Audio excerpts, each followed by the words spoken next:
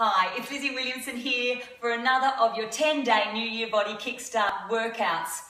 I love using movement when I'm feeling strong emotion. So if I am feeling annoyed and cranky, if I move my body, I know I just feel so much better. Here are some great moves for you to try if that's ever you throughout your year. They're also just fantastic moves for your legs and your tummy to do if you're ever down on the floor. We're gonna have our hands in fist position for a bit of a punch out, but we're gonna work our legs at the same time. So we bring our hips on up and press them forward, and as we come up, we punch, punch, and down. Punch, punch, and down. So put as much padding under your knees here if you need to, a towel, even a cushion, and punch it out.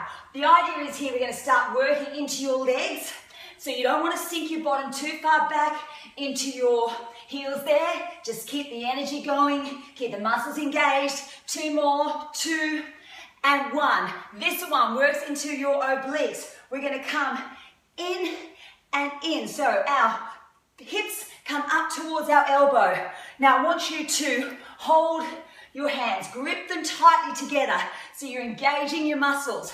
Engage them and pull them down, work into the side of your waist. Two and one. Let's go the other side. You can change grip if you need to. Hold them strong and lift it up. Lift, lift. We're also stretching out the side of your body, working into your waist. Might feel a bit strange, but it certainly works. Lift it up. Should be feeling your legs now. And three, two, and one. Great, we're gonna come round onto the floor.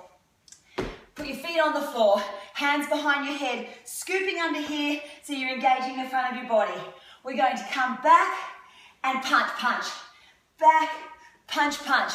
You don't need your hands behind your head, just keep them to the front. Punch, punch. The great thing about this move is it shouldn't strain the back of your neck at all. You want to pull into your tummy muscles to lift you up here. Great. Bring your right foot on top of your left arm. Come on back and we're going to cross over that bent knee. Punch it out and punch. Engaging into our tummy muscles. Punch and punch. Change legs. Come on back. Punch and punch. Make sure you've got some padding underneath your bottom here. Punch. Twist it out. Take your time. Nice and slow and controlled. And back. Great. Let's go through that again. Bit more on pace. We punch and punch. Whew. Yeah. I love this move. It's a great one. Just make sure you've got enough padding under your knees. To the side. Pull it down. Pull and pull. Repeat as many times as you like that side. We're going to go the other side now. Down and up. Come on round. And we punch, punch. Punch, punch. Making sure you're scooping under there. Under. One foot up. Punch and punch. That's it. Twist it over. Working into your obliques. Over and over. Draw it in and draw it back. Nice work. I hope you enjoy that one. Gosh, it's good to use movement in that way to help you feel good. Also should be great moves there for your core. I will see you at your next workout.